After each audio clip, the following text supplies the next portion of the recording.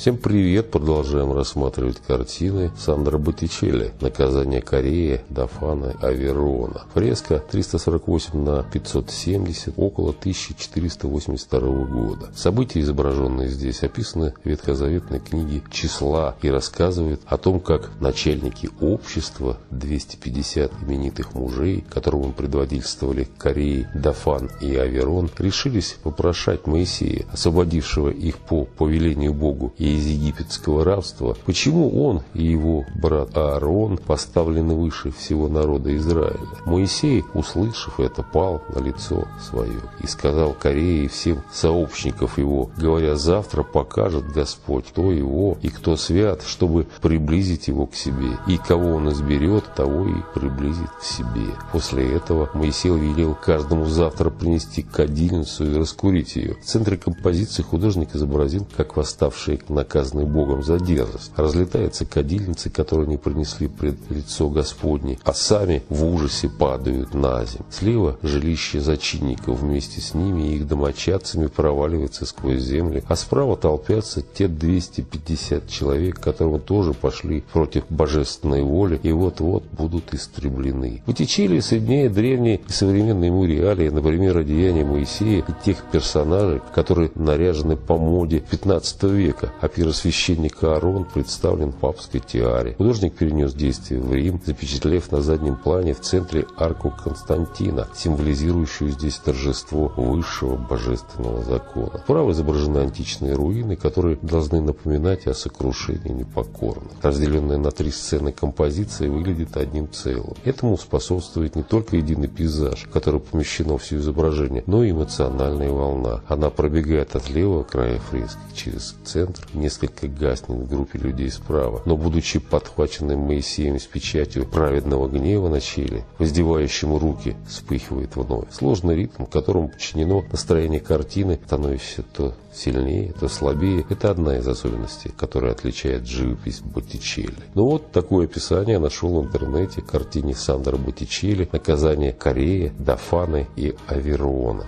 Пока-пока, до свидания, всего хорошего. Текст по книге «Великий музей мира».